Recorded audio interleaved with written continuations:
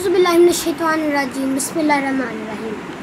السلام علیکم دوستوں میرا نام محمد اسد حسن اور میں آج آپ کے لیے اصحاب کہف ایک شاندار سا واقعہ لے کے ہیں اصحاب کہف کے شہر کا نام افسوس اور بادشاہ دقیانوس تھا۔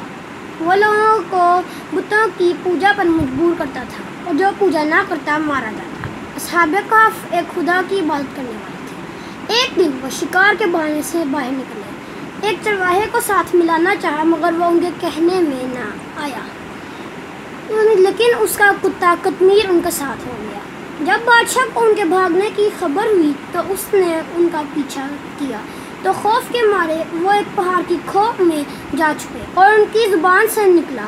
حسبن اللہ و نعم الوکیل۔ پہاڑ کی کھوپ میں اللہ نے ان پر نیند کو غالب کر دیا اور کتا غار کے باہر پاؤں کھلا کر بیٹھا رہا۔ کیونکہ یہ لوگ کھوہ میں چھپے اس لیے ان کو اصحاب کہف کہتے ہیں۔ جب وزیر نے غار کے غار کے باہر سے پکارا اور اندر سے آواز نہ آئی تو اس نے بادشاہ کو کہا کہ سب تیرے خوف سے مر گئے۔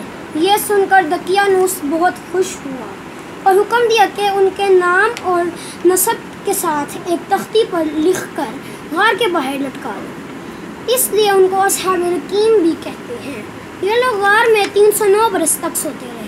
جب اٹھے اور دروازہ بند پایا تو بہت پریشان ہوئے۔ ان میں سے کچھ لوگوں نے اپنی نیکیوں کو یاد کیا اور اللہ کے حکم سے دروازہ کھل گیا۔